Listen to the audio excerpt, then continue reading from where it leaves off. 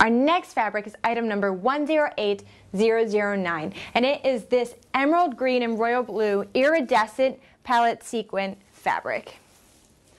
This is one of my favorite sequins. Everyone at the Mood office knows that I call this my dead fish fabric, and here's why.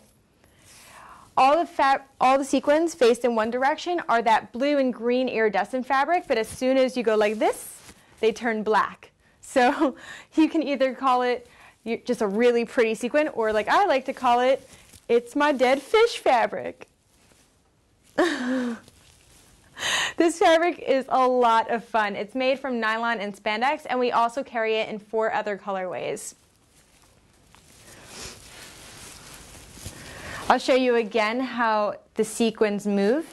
So you can brush them all in one direction just to have the one colorway or you can brush them back in random areas so that it has that patchy effect and it's a lot of fun.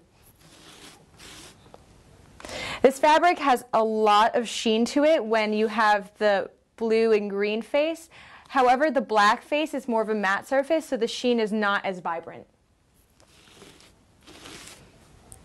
It also would be great for formal occasions. So gowns and jackets, also short cocktail dresses, that is what you would use this material for.